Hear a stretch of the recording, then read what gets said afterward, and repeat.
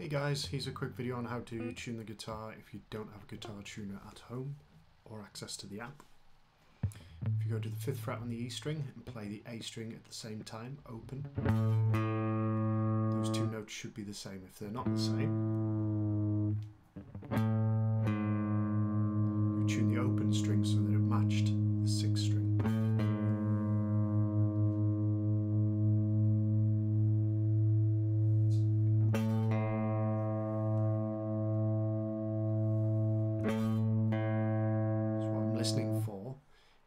is what's known as a beat frequency. So you can see when they're slightly out of tune, there's kind of a little beat that goes on in the background. When you match the frequencies, that'll disappear.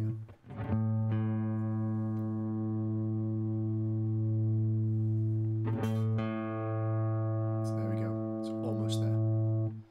Okay, keep going down the strings like on the tablature down here. So we've got fifth fret on the A string and the open D string. The same.